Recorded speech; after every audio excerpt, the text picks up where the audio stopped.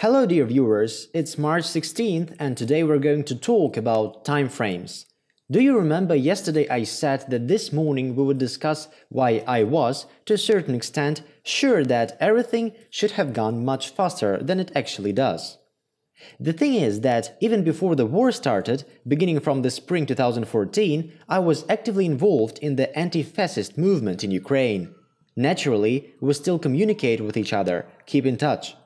Back in 2014, we made a lot of acquaintances and friends. These became my brothers in arms, by the way, including my comrade Mikhail Onufrienko, whom I also met in the spring of 2014. Since then, we have always been together, and today many of them make up the very civil military administrations in Kharkiv, Dnepropetrovsk, Zaporozhye. These are the people I have known since 2014. So, even before the war started, communicating with each other, speculating on how certain events might develop, uh, I can tell you today, because no one is interested in it today, because this plan has been discarded and no one will ever go back to it. So, before the war started, there were agreements with representatives of different elites from different cities in the south and east of Ukraine, and they promised to surrender their cities in the event of D-Day.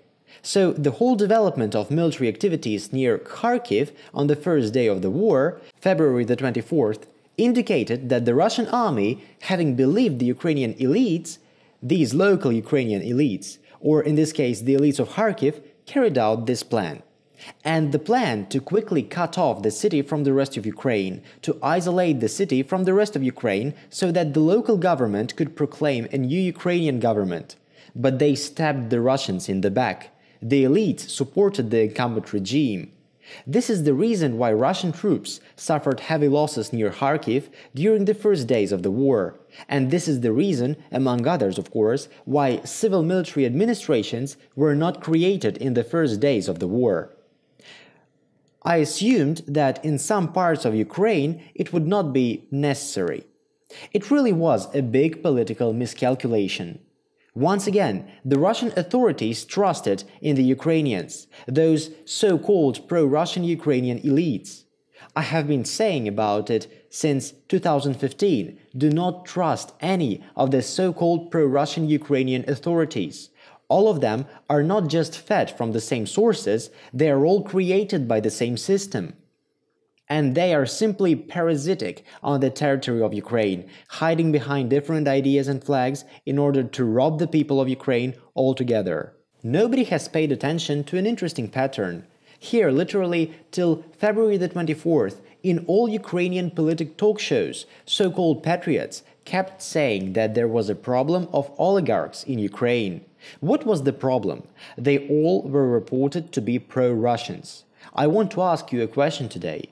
Are you still pouring banana oil in the ears of the local population? And indeed, pay attention, all of the Ukrainian oligarchs, without exception, have gathered around the current regime. And it was quite logical, because all those so-called oligarchs in Ukraine were to disappear once and for all as a result of this war. Anyway, it's all in the past now. This page has been turned and we are writing another one. Those so-called pro-Russian authorities of Ukraine, who now unanimously support Zelensky as the one and only president who must of course win, at least in their opinion. You know, in a way I am grateful to them, because these actions allow us to terminate any agreement with them. And that's it. Now those agreements can no longer exist. And this allows us, when we win, uh, which is inevitable anyway, to build a new Ukraine without them, without the representatives of these so-called elites. That is why they call themselves the elite, having made their choice, thereby giving us freedom in action.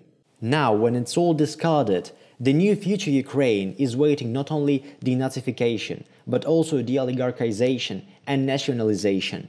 And you know, we have a unique chance to build a country where we can build a new kind of society. It is going to be hard and difficult, of course. Yes, after the war, after the destruction, it will be very, very difficult. But in this situation, despite the fact that in the early days it brought certain problems, uh, this situation gives us a unique chance for the future development. And I will do my best to make sure that we, the representatives of the new Ukrainian government, use this chance for the good of our people. So that's all what I wanted to tell you in this video. Bye.